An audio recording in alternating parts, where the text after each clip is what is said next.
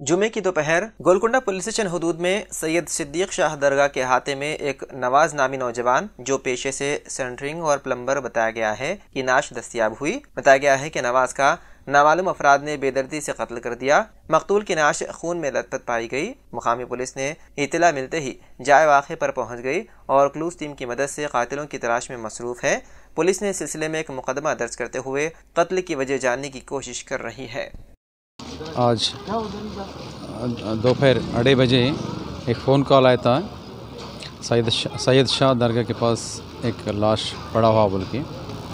तो तुरंत मैं अपना स्टाफ सब मिल के वहाँ पर आ गए। आके वहाँ पूरा वेरीफाई करें।